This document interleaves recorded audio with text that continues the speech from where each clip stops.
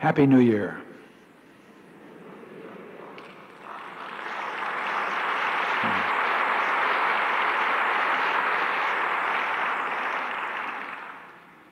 You know, this is a salutation that we will be hearing and uttering thousands of times in the next 60 hours.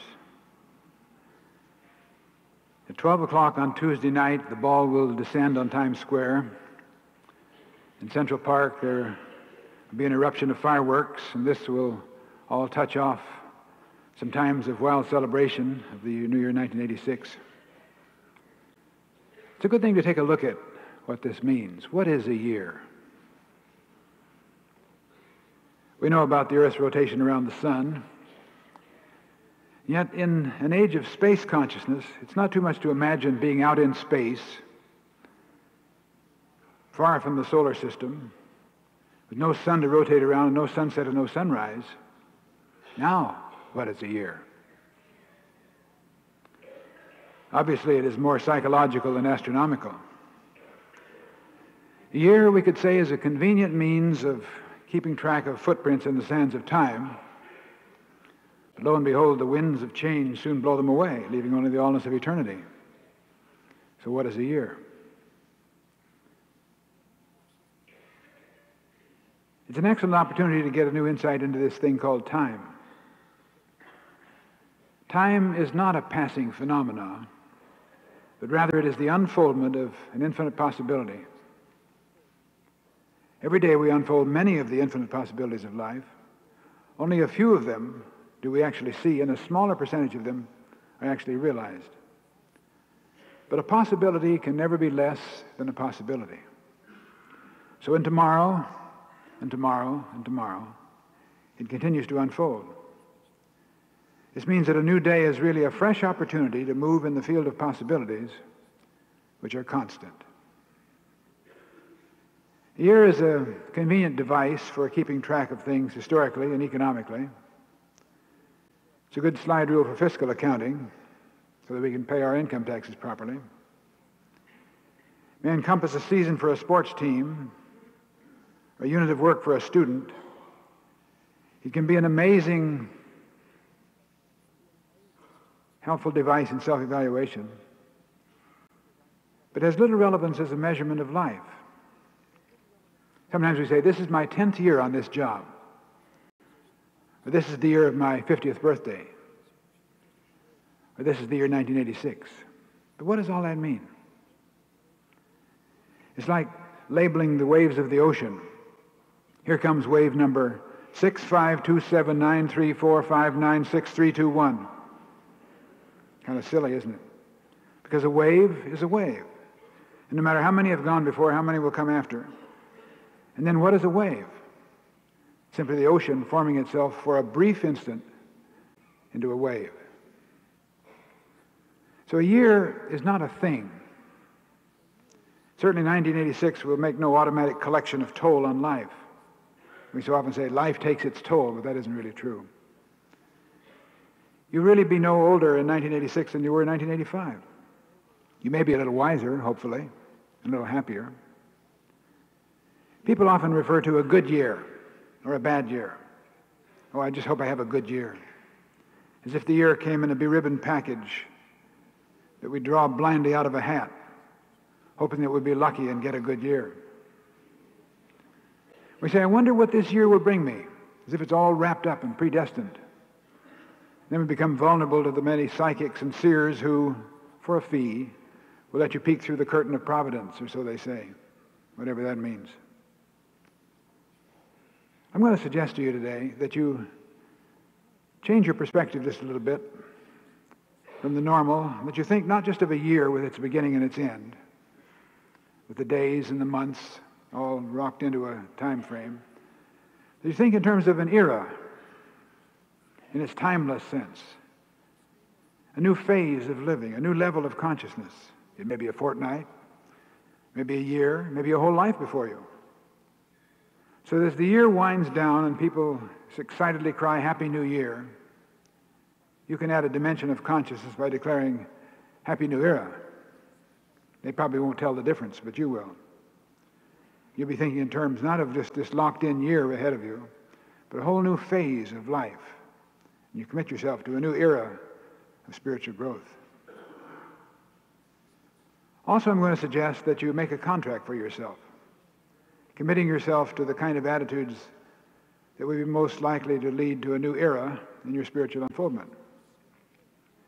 At the close of the hour, as we have promised, we're going to give you a contract, all formulated simply for you to sign.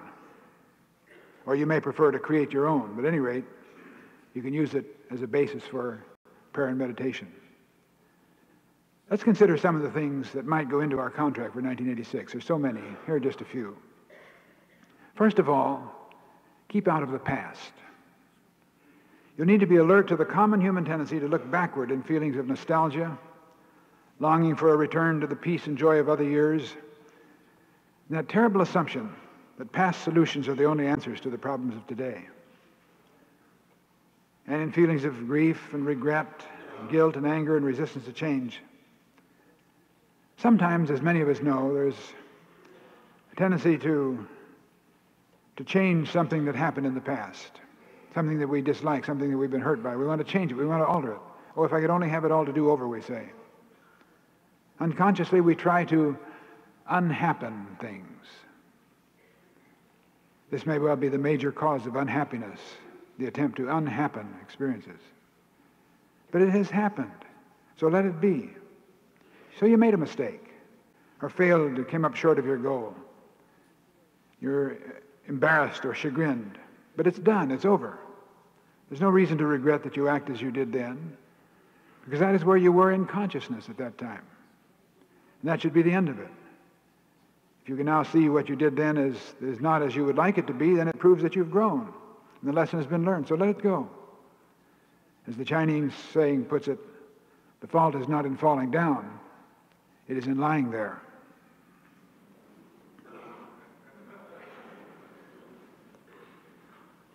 And the other side of that coin, avoid trying to live in the future. Make a covenant with yourself that you will keep out of the someday consciousness. Maybe this year will be the year my ship comes in, we say. I call it life on the deferment plan. so often people say, when Saturday comes, I'll be able to relax, get out from under and enjoy life. When Saturday comes, after I get through this miserable work week. The national slogan for some persons is TGIF.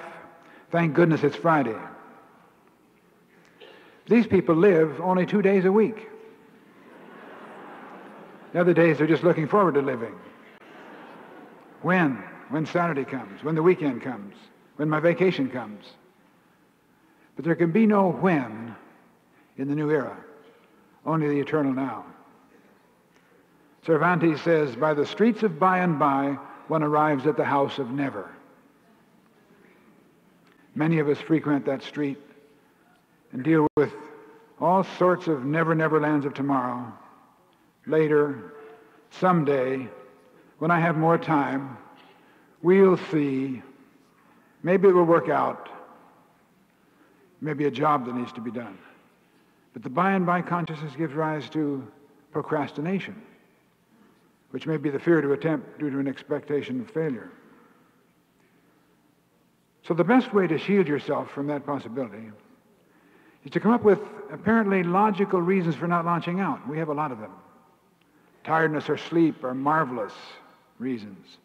Do you ever notice how tired you get when you're close to actually doing something difficult? Illness works pretty well too. How can you possibly do it when you feel so bad? When everything else fails, there's always the, you see, I really don't have the time excuse. Of course, we know we always find the time to do the things we really want to do. And the final pronouncement it's really impossible, you know. And who can argue with that? In the new era, we need to listen to Goethe as he sings, Whatever you can do or dream you can, begin it. Boldness has genius, power, and magic in it. You may express great confidence in the belief that someday you're going to be healed. You may even say, when I get over this sickness, when I'm healed from this illness, implying that then you will begin to live. If someone were to ask you right now if you would like to be healed right now, you would probably reply, yes, but. And in that little word, but, we can see your belief in restriction. What you want for yourself, you must accept now or possibly never have it. There's no future in the eternal now of infinite mind. The only demonstration there is or ever was is in the divine kingdom within you, and that is in the eternal now, always present. One of the weaknesses of the typical prayer or treatment is that it is directly or subtly dealing with futurity. If you think that a problem is something to be solved in time, then you'll probably be praying that God will heal you or that a demonstration of supply will be made. So unconsciously you're relegated to the streets of by and by. People often ask why their prayer is not answered. This is most often the reason. So don't pray to get better. Affirm your wholeness now. Don't pray that you will find a job. Affirm that you're in your right place now. Don't pray that you may become a better person. Affirm that you are now God's perfect expression, that you know it and show it. And remember the Amen at the end of your prayer does not mean maybe, or I certainly hope so. It sure will be wonderful when. It means so be it. It is done now. A beautiful realization of truth that we use so often is wherever I am, God is. Wherever I am, God is. In the new era before you, wherever you may be, in time or space, God is with you and within you. You cannot get outside of the presence. Even more important is the realization wherever I am, I am. Wherever I am, I am. In other words, wherever I happen to be, the whole of me is present, the all of me. In January or June or in April or December, I am. It's the one sure thing about the year for you. I am. If you would be in the creative flow in facing any situation that comes to you, start what you do with I am. You may want to hold this realization that I find very helpful. I can do what I want to do and be what I want to be if I know that I am. He simply says that the source, the substance, the fountain is always within and is ever present. I am. In the new era that you're entering, it is important to avoid what we might call the comparison game. We do this so often. Smarter than, not as smart as. Prettier than, not as pretty as. But you see, you are you. Use your own standards. You are intelligent because you can do the thing you want to do. You know you're attractive because you are being and expressing who you are. Why accept someone else's standard of attractiveness as yours? So absurd to run your life on the basis of comparison with others. You are incomparably unique and wonderful and growing. Of course, keep reaching for the heights. Not so that you may be better than someone else, but so that you will be better than your former self. Reach for the highest, but be grateful for how far you've come. Be patient with yourself. This is so important. Give yourself the privilege of occasionally missing the mark without self-condemnation. So many truth students have this perfectionist attitude. They're constantly lashing themselves for falling down. Falling down is not the important thing. Getting up is the thing that counts. Keep yourself centered in the creative flow. There will be no pressure or anxiety if you're at peace. When you're centered within, you'll be able to keep up a busy schedule, carry heavy loads, and produce great amounts of work without strain or pressure. You will walk easily through our things because you are in charge. You're in charge, not the clock or the calendar or the economy or world conditions or fear of the future or worry over the past. Out there in the world, there may be a variety of things that might normally give rise to pressure. But you can cope because you're in tune. A few years ago, in the city of Detroit, there was a newspaper story of a man who went blind on his way to work. He was riding the bus. Suddenly, the lights went out. He lost his eyesight completely. Now, he could have cursed his fate. He could have stopped everything right there, and no one would have blamed him one bit. But the thing that made this story so special, the only reason it really got in the paper, made news, is that he continued right on to work. Took his place at his stenotype machine, did his normal work as a court reporter. You see, he'd been informed six months before that this would happen. And he'd made a contract with life that he would continue on with his productive experience, expecting and accepting life to continue to flow through him. I know what you're thinking. You're wondering if life is whole and if prayer works, why couldn't he be healed? But you see, he could only deal with his experience at the level of his consciousness, not yours, not something in a book. His demonstration came at the point of awareness where he was. And he chose to grow through the experience instead of being destroyed by it. And that's a great demonstration.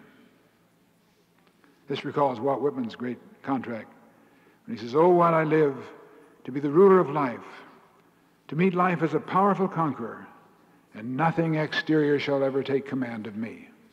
Tremendous commitment. My mother had a favorite expression. If a thing is worth doing, it's worth doing well.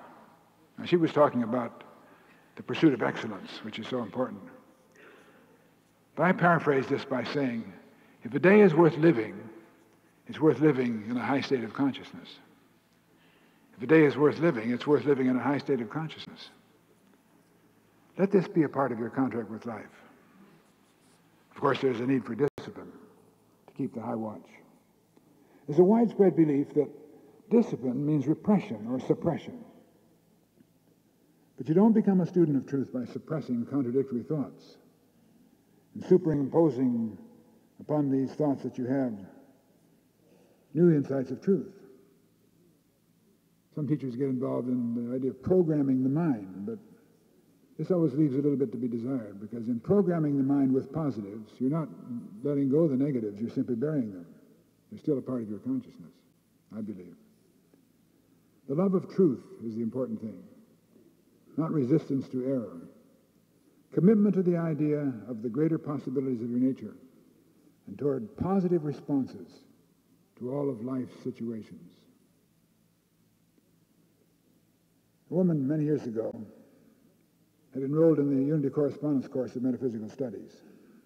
I lost track of her for a while, but I ran into her one time by chance.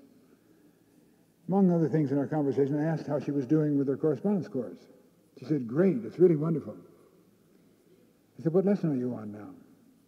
Oh, she said, I'm still in lesson one. But I said, you've been enrolled for five years. She said, you see, I want to live each lesson and really master it before I move on. This reminds me of a student who came to Manly P. Hall one time and asked him, should a sinner teach? He said, of course a sinner should teach, but he shouldn't teach his sins. The world would be strangely without leadership if everybody had to wait till they were perfect before they got up front to teach another person. There's the woman who said she wanted to live each lesson and master before she moved on. Admirable as it was, I suspect that in back of her lovely rationalization is a tinge of procrastination. So often we start out with such high hopes, but so many things interfere. We finally lapse into the file called unfinished business. It's the fattest file in, in all of our cupboard, cupboards, cupboards. Books we start to read and then interrupted we never return to.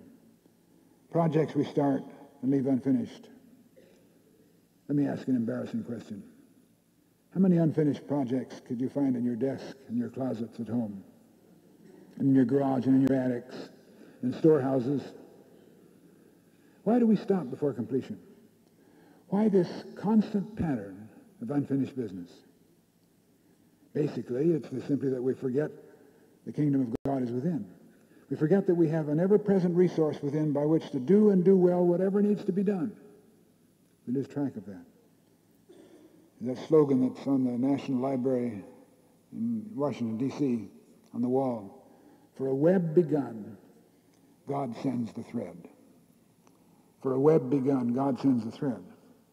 The spider unreels all that he needs to make his web, and it comes almost ceaselessly. If we could only know that. We start things, but we're not centered, so we scatter our forces. In our complex society, there are hundreds of attractions vying for our attention and involvement. Ads appeal to us to enroll in this course, to get into that program of bodybuilding and weight control. Read this book, learn to write, learn to paint, learn to knit or sew. So the average person tends to become a house divided. He wants to grow, he wants to improve himself, so he's interested in all these things, but doesn't focus on any one of them. He gets involved, he's like the man who gets on, the, on his horse and rides off in all directions. So we get involved in more things than we can really put our heart and soul into. One man was being honored with an award for his great achievements. And he said in accepting the remark, I seem to have been born utterly without the faculty of doing more than one thing at a time. Make a contract with life that you become a finisher, as the Bible says of Hezekiah. And in every work he began, he did it with all his heart and prospered. So as a symbolic gesture of your contract, select one of those many unfinished projects and complete it within the next few days. Complete it. And you'll give your subconscious mind a message, maybe a blessing to you. Finally, I'm going to make a suggestion that we rarely touch on, but it's so important, I think, that you make a contract in, with life in which you will live in what we could call creative altruism. One can never be fully alive if he's engaged in resentment or bitterness or downright hatred. It's a terrible burden to dislike people even to be critical. All it does is to cover up a perpetual pain in the heart. So much easier to love people, to be patient with them, even to forgive their errant ways. Remember, by the focus of your consciousness, you become either a part of the solution of the world's problems or you're a part of the problems themselves. Say that again. By the focus of your consciousness, you become either a part of the solution of the world's problems or you're a part of the problem. So if you discover some kind of resistance within you, some feeling of enmity, some prejudice, or even some petty annoyance, it's time to go within. To realize that this is an opportunity to learn love, thus to awaken to a new level of life. In describing the work of Jesus, Paul says that he went about doing good. He went about doing This is an innocuous statement. He went about doing good. But it's a very vital one implied. You might want to make this a part of your contract with life. We normally put so much emphasis on making demonstrations of prosperity, personal fulfillment in various ways. It might be good to make a commitment to a new era of just doing good. Sounds strange, isn't it? Sounds rather empty. Actually, it could be said that all sound policy in business and all sound practice in social life are based on this dedication to doing good. Certainly I don't gain much experience in life if I do not realize that most of the things I do must be done for others. Even when my primary purpose is to accomplish something for myself. For instance, to earn a wage, I must do good for my employer. To work effectively for my employer, I must see my opportunities to serve him. To be successful in a business of my own, I must see opportunities to serve my customers and to attract more customers. I must learn and remember the ways of the public, its likes and dislikes, its habits. I must become observant. I must become thoughtful. I must think in terms of doing good. Newspaper people often speak of a reporter as developing a nose for news. We need to develop a nose for opportunities to be helpful and inspiring and constructive in our life with others. And I think it is the helpful, inspiring, and constructive people who are going to heal the hurts of this self-wounded old world. And it is to them that the world will bring ultimately a grateful reward. You may say, but I want to do good, to radiate love, to enter a new era of creative altruism, but I, I just don't see the opportunities. As Jesus says, you have eyes, but you see not. Here's a very simple, homely illustration. Without looking at your watch right now, I ask you, is the figure six on the dial a Roman or Arabic numeral? Now, the face of your watch is one of the most familiar objects in your environment. You may look at it many times a day. All right, look at your watch now. Is the figure six Roman or Arabic numeral? You may be surprised. A few of you may have been correct, but for most of us, we discover that our watch doesn't have any figure six at all.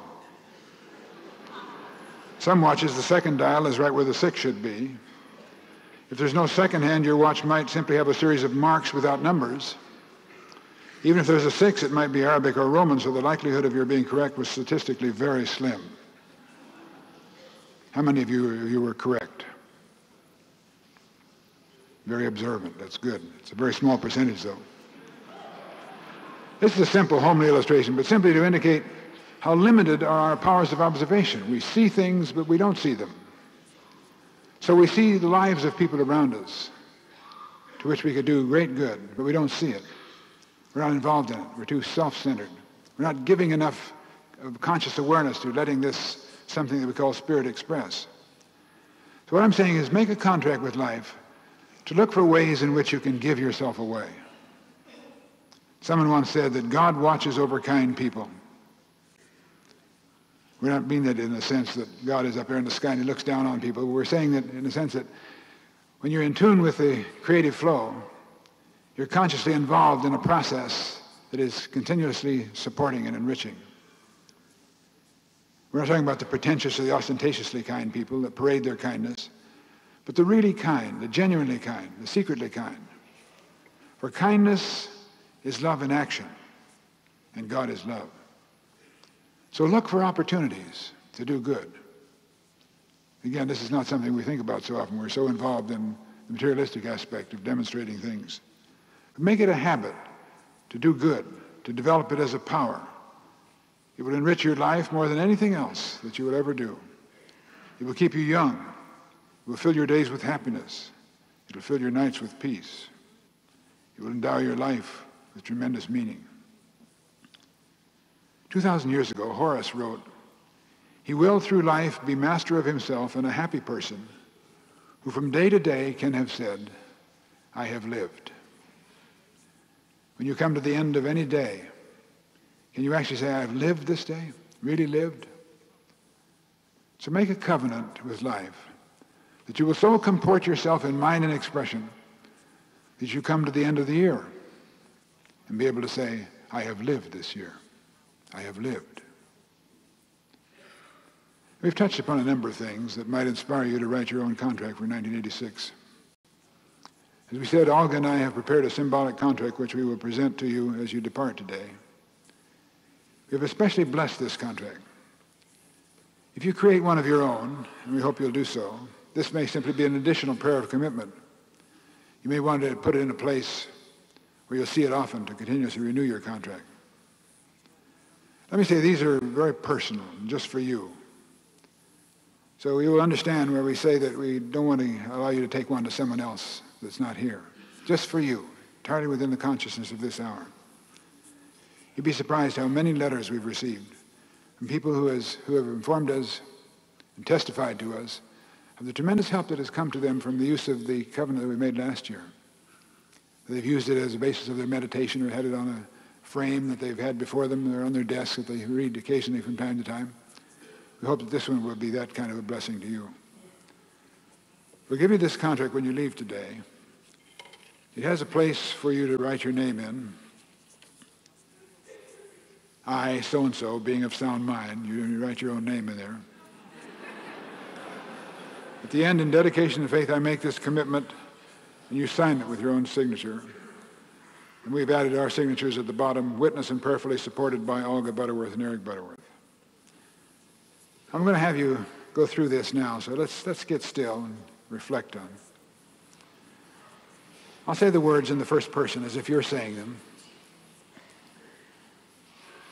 Let it become a commitment that you make right now that you can recommit when you read it over on your own.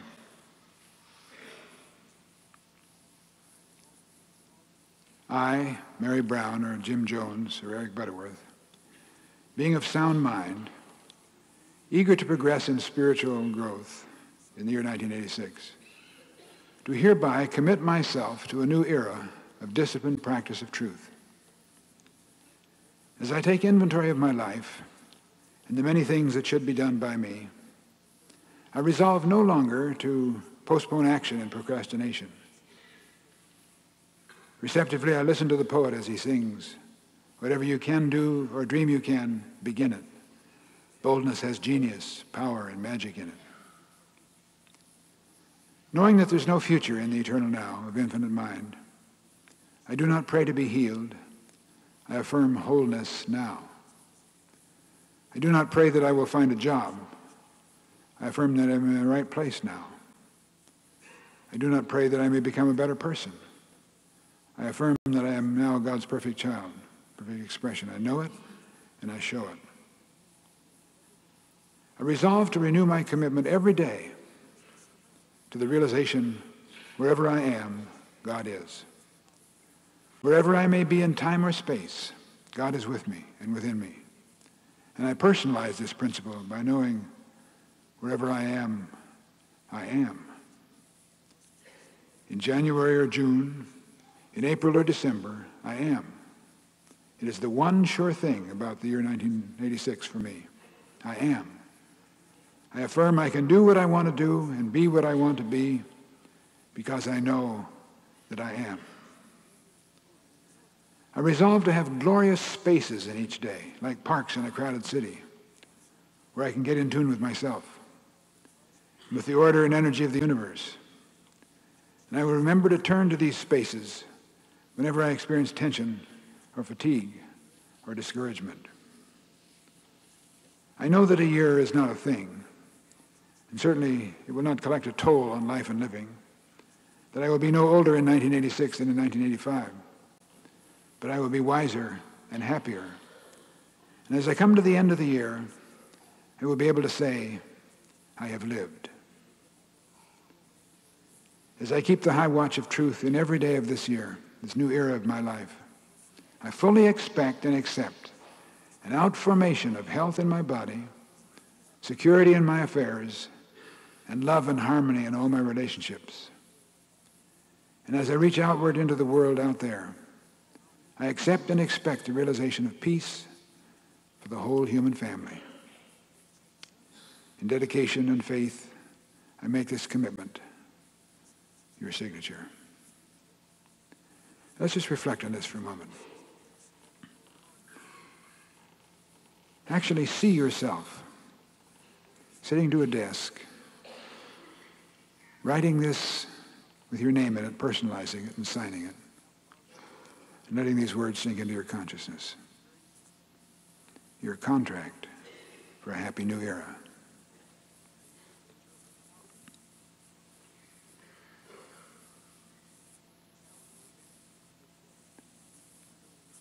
And as you look forward, may you think of your perspective, transcending the limitations of days and weeks and months and the year. Thinking in terms of the era, an era of growth, an era of health, an era of positive declarations of truth, an era of positive responses to everything that happens to you.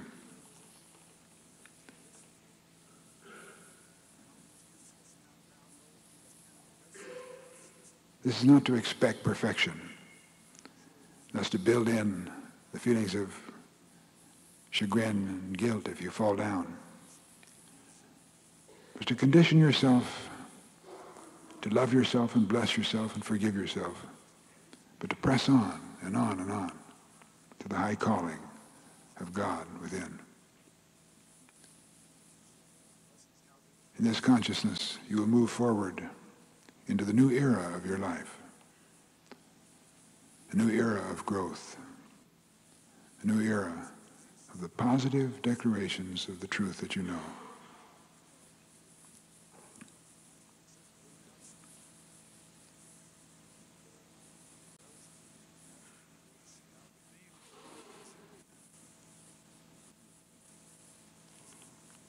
And we see you carrying this covenant with you in your work, in your relationships with people, in all of your contacts with the world. You are committed to the conscious expression of the free flow of God activity in all your ways, wherever you are, whatever you do.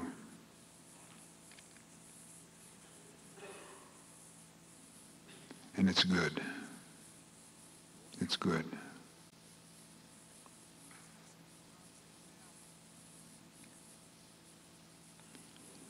Praise God for the truth that makes us free.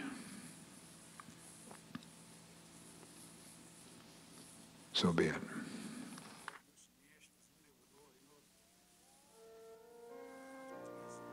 Light sings all over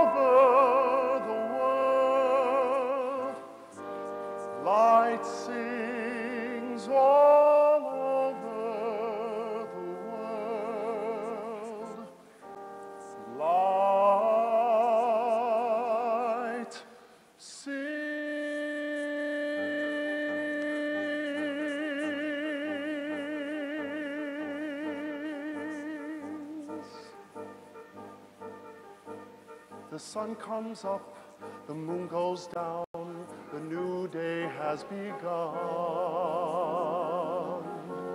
I open the door and worry no more, cause morning's here, bringing in the sun. The joy that I find, I'm gonna let it shine, and it's the sun. The sun comes up and a new day is born. Oh, light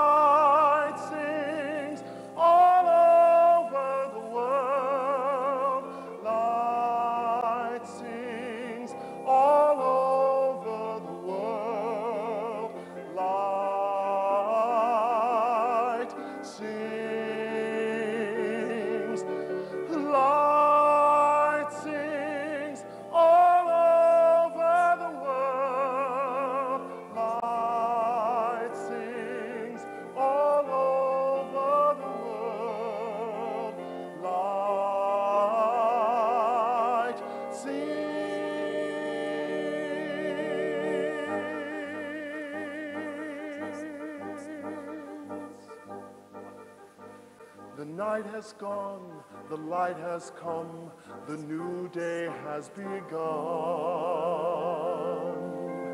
I'm sailing on high, I'll worry no more, cause morning's here, singing in my heart. The love that I find, I'm gonna let it shine,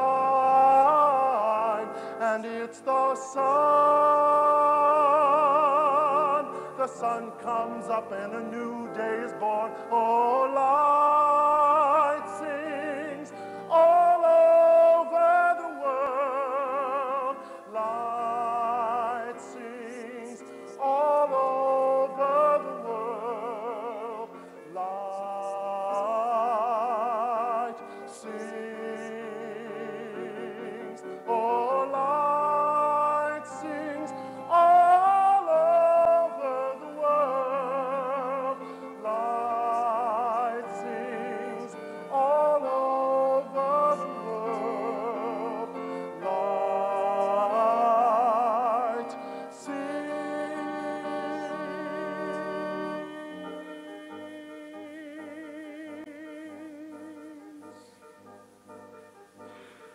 Sun comes up, the moon goes down, the new day has begun.